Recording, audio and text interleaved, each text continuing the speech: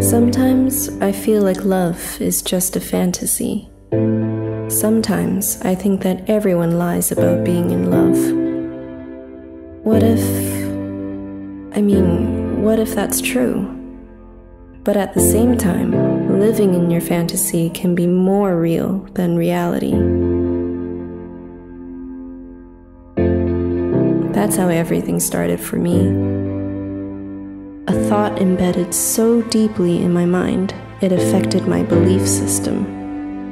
A belief that made me give up on searching. I had found true love in my fantasy, ignoring every possible reaction of the outward world. In the beginning, people around me tried to understand and then they tried to rescue me from this fantasy of mine. But how can I let go? If only you had seen him just for a second. He makes my body calm, but my soul vibrates. It's like he knows every little secret about me, but doesn't say a word about it.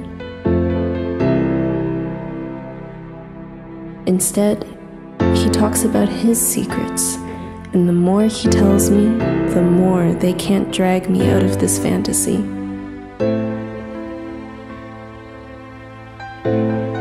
I feel love, and the moment you understand it is the moment no one understands you. And I was good with that. The one thing I couldn't understand was his departure. Oh, yes, even in your fantasies, there are disagreements, fights, crying, and separation. No, this isn't a dream. My dreams are never connected and so random. This is a fantasy that had finally left me.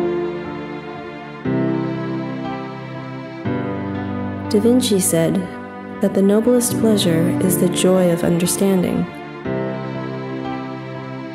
I realized that fantasy leaves you only when it becomes when it becomes a reality.